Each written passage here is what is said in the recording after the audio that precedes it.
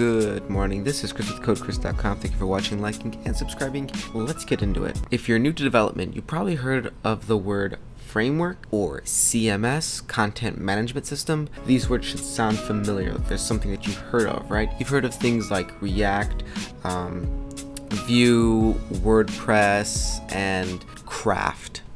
I want to ask you a question straight out, flat out, I want you to give me the honest answer. I know how to build a website in HTML, CSS, and JS. Can I just can I just use just that? And it's a very it's a very fair question. Hit me with it. Just give it to me straight. Here's here's kind of the, the thing. Yes, you can build a website with just those things, but the reality is you will not. You will be using one of these two things 99.9% of the time. So you're telling me there's a chance? Yeah! There's really no reason not to.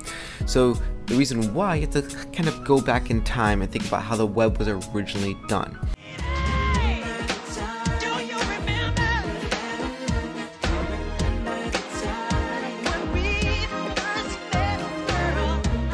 You've got mail.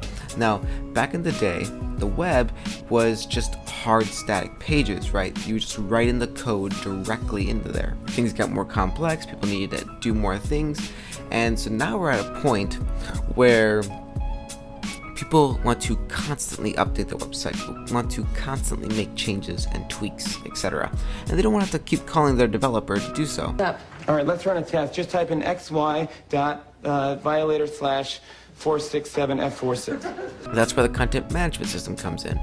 Things like WordPress, and there's others, and Craft is a new popular one if you really want to get super custom or whatever. These content management systems are just designed in a way that they abstract away the code to a, um, to a GUI interface where the user can input some information and that can dynamically change. It's so easy to use. A caveman could do it. What? Oh, no, I, Not cool. I did not know you were there. I, A framework is very similar in that sense, except it's more code driven. And it's more so if you want to just reuse the same parts over and over, or to help keep your code clean and organized because things can get very complex very fast when you're trying to do a lot of different stuff. And the reality is, if you're new to development, you don't have to know um, all the content management systems. You don't have to know how all of them are set up. You don't even have to know all the frameworks, anything like that. You do need to know your HTML, your CSS, and your JS. And what's going to happen is when you get a job or when you find a practical use for it, you're going to jump onto whatever they are using and whatever they have.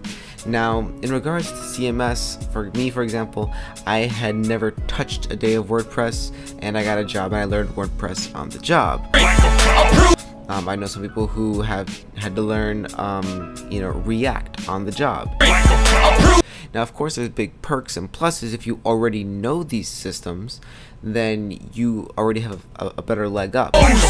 But that is up to you to choose how you want to go ahead and make that approach. I'm not here to debate which is better or which framework you should be choosing or anything like that. Right now, what I'm here to do is just explain the purpose of what they are, and more importantly, do you even need to know them? That as we move further and further into the future, you are going to be needing to adapt these more often. But the thing is, as long as you understand the underlying belly of the beast, right? The HTML, the CSS, the JS.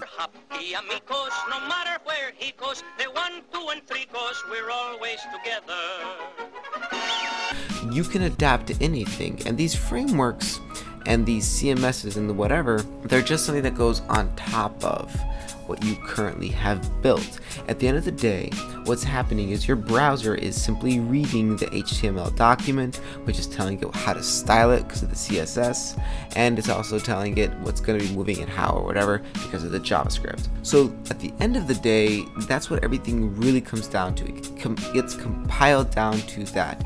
It doesn't matter about the Sass or how you're using Webpack or Babel or what framework or what, you know, at the end of the day, that's what the browser is receiving. So, if you know and understand how that is set up, you can start to slowly get more and more abstracted away from it. Ah, Never seen this before. My beautiful face! No! What is going on? We're abstracting. and it will compile down into that, okay? You should be trying to just learn the base part and the other stuff can start to come on top of it, okay? Anyways, those are just my thoughts. I thought that would be helpful. Back at the beginning, I was like, what's the purpose of the two? And should I do one over the other? This is Chris with CodeChris.com. Thank you for watching, liking, and subscribing. Till later. Bye-bye.